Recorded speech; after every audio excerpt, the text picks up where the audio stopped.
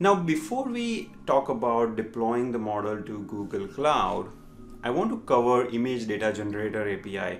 In part 3 of the video, we built the model, part 2 and 3 actually, we used the data augmentation layer in Keras to train our model.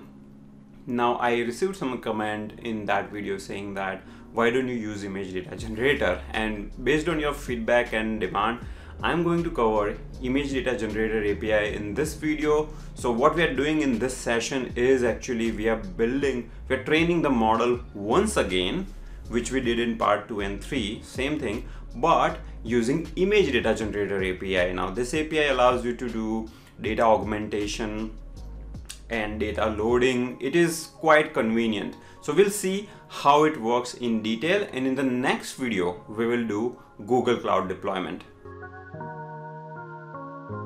So again, just to summarize, I have this notebook open where we use data augmentation and resize rescale explicitly as the layers in our model. Now I will do the same thing using more convenient approach. And if you Google TensorFlow image data generator, say TensorFlow image data generator, you find a documentation where you can create this class object where you can specify all your augmentation as an argument. For example, you want to increase brightness. You know, you can specify this brightness range, horizontal flip, vertical flip, rescale. You can do so many things. So let me just go ahead and create a variable of image data generator. So I've already imported it I'm going to create a variable of image data generator and I will specify different parameters. For example, the first parameter will be rescaling. So I want to rescale. I would say rescale. Every image has RGB value from 0 to 255 and I want to divide that by 255. In our previous notebook, what we were doing was using this, this specific layer for rescaling. And now you're doing the same thing here using this particular argument. The second one I will do is horizontal flip. I will say this. And rotation range I will use it. Let's say 10 you know by 10 degree I want to rotate my images you can use more transformation but I just want to keep things simple. That's why just using uh, these many transformation. And then the second thing once your generator is created so let me assign a variable to it. Now you need to load the images directory from the dire directory on the disk. So here there is a method called flow from directory. Now flow from directory is a very very convenient method and let me just show you how you can use it. So train dataset train data generator flow from directory. Here you specify directory path. Now our directory if you look at it we have just single directory with three classes. We need to think about train uh, splitting the, the images into training and test and validation data set as well. Now one thing I don't like about TensorFlow API is this particular method allows you to divide your data set into training and validation data set. So let me see, where is it? Subset. Yeah. So you can specify subset and you can say my subset is either training and validation but I need taste as well. So if TensorFlow guys are watching this video, please add taste as well, you know, here, because otherwise it becomes inconvenient. So since that support is not there, I'm going to use a tool called split folders. So I have already installed the tool on my computer. So let me just show you. I previously ran it.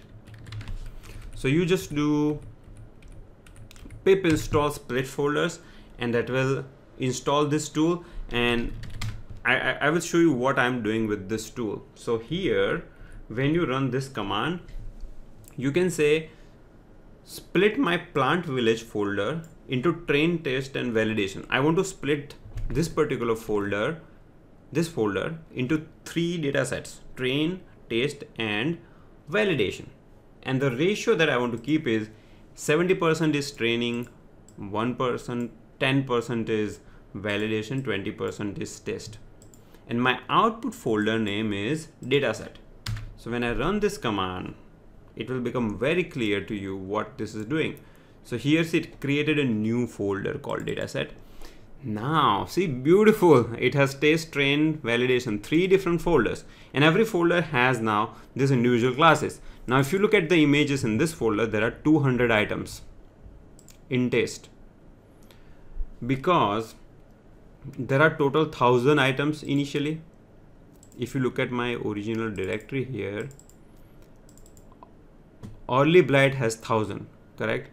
And in my test I said 20% so 20% of 1000 is how much?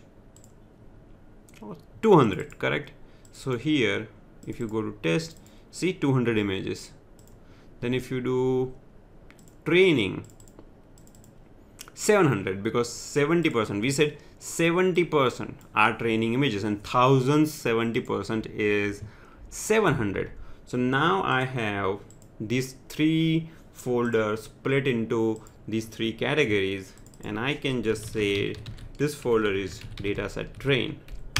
So that will be my training generator. So let me assign a variable to this training generator. And I will specify a couple of more parameters. So my target size is what? Each of my images is 256 by 256 correct? And just to because I know I'm going to use this a lot. So just storing it in a variable makes sense. Then the batch size will be 32 32 batch size is pretty much standard. And the class mode is sparse. Why sparse? Because the labels I want the labels to be 0 1 and 2 see here class mode. So class mode can be categorical. If it is categorical it will generate uh, one hot encoded vector I don't want hot encoded vector I want simple sparse vector you know 0 1 2 and I'll just show you how this works let me do one thing I will mention save to directory as well because I want to show you how the augmented images look like. So I will create a new directory called augmented images. So here, let me just make a new directory augmented images. So you can see here, see augmented images and it will save the augmented images into that directory. Now you found 1506 images and it created a training generator. Now, if you don't know how generator works in Python, I would suggest that you go to YouTube, click codebasics generator, click on this video, codebasics generator. You'll get an understanding on how generator works. But just to give you a brief idea, generator on fly, it is like training data set. You know TF data set that we studied before. It will dynamically load images from directory. It will do transformation because it's image data generator all this transformation and it will return those images in a for loop so generator is something you can use it uh, in a for loop uh, let's let's just run that so for something you can do for something in train generator now that something is basically image batch and label batch just like TF dataset. So you will get this image batch will be 32 images. This will be 32 labels which will tell you whether the plant is healthy or late blight, early blight, you know, one of the three values 0, 1, 2. And this loop will just keep on going. So you need to just break because you know it's a generator, it just keeps on generating. So I will maybe you know first print a shape just to show you so every image batch 32 images x and y is for each image is 256 256 3 is for rgb now when you run this you will notice one thing that in augmented images it created see 32 images total. And these are augmented so some of them are rotated. You see this one is probably vertical horizontal flip. Uh, this is also horizontal flip I think. So they're rotated there is a flip and so on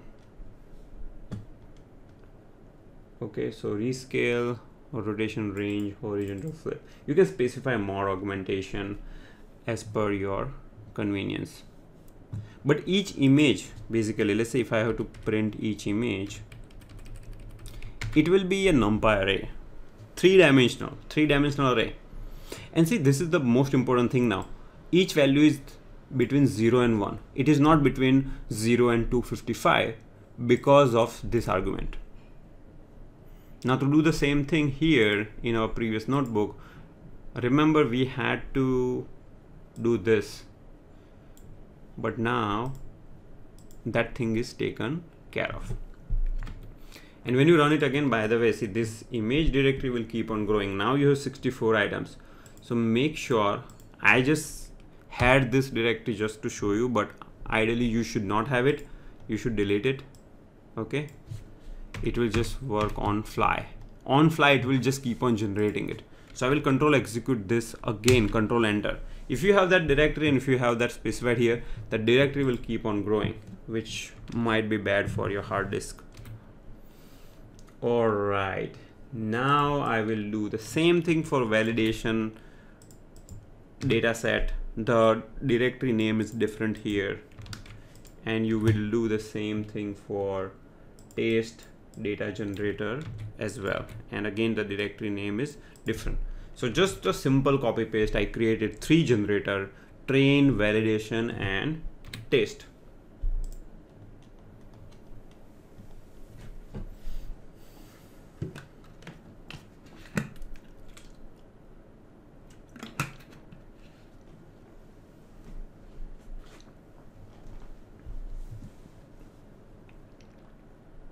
Now you can directly build a model so i'm just going to copy paste some code because we are using the same model architecture convolutional neural network architecture that we used in a previous notebook. The only difference here is i have put some input layer here and remaining things are kind of same. And you control execute you will print model summary okay because all parameters are trainable because we are not using any transfer learning here. So you can see the model summary um, model compile same thing. I'm just doing copy paste from the previous notebook. And then you do model.fit now here something changes. So in model.fit you will specify your train generator. And and step per epoch. So you need to specify step per epoch otherwise train generator just keeps on generating new images. And usually the guideline is step per epoch is basically how many batches you are running. So one batch size is what? 32 okay? 32 is one batch size. And total number of images let's say in train dataset is x. So x divided by 32 is the value that you want to put here so how many images are there in our train data set? Well, 1506. So now we have total 47 steps for training. Then the batch size is 32. Validation data comes through validation generator and then val there are validation steps by the way. Validation steps would be same thing. Y divided by 32 where y is number of images in validation dataset. Validation has 215 images. Okay around six steps I want here. And then verbose is one and I'm going to try 20 epochs I tried this previously. I'm not going to lie, but this is something you decide based on some experimentation. Okay. So then you will run your training and I'm not gonna run it right now because it's it's gonna take time so I'm just going to show you the the notebook which I which I ran before you know which I used it before so I ran this and I got around 97% accuracy and my validation accuracy is 95 and you want to always test your model on test dataset before deploying it because test dataset is something model has not seen so far. When you run that, you get 97% accuracy, which is pretty good. And then you will plot, you know, your usual, uh, the same thing that we did in the in the part two and three, which is plotting training and validation accuracy. That that code doesn't change so i'm not going to go over it again you know? Uh, and then you can run prediction on sample images. Again it's a generator so previously in a data set we used to do something like take but here you just use it in a for loop. It's an iterator generator okay? And you ran the prediction. Uh, the all these functions are same with little change that's why i'm not going over it but i ran it on a couple of images and I found that okay most of the predictions were true. If the actual image is early uh, blight my predicted image was also early blight and so on. And then I saved the model in H5 format. Okay now what is H5 format? So here if you again in, in Google if you say TensorFlow save model you will find save model documentation. And this is this format called hdf5 now this is the old format. Right now they they use usual you know they, they save it to directory. But what i like about this format is the entire model gets saved into one file.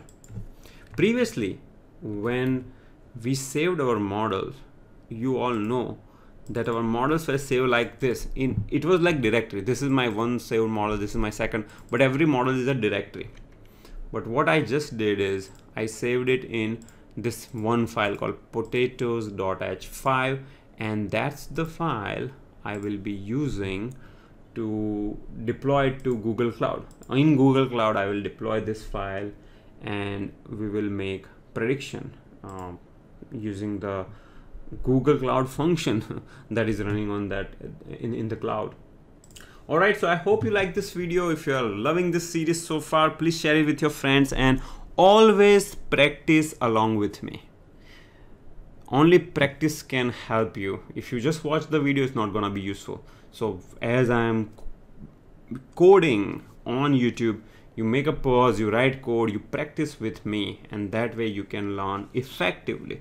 In the next video, we'll deploy this H5 format model to Google Cloud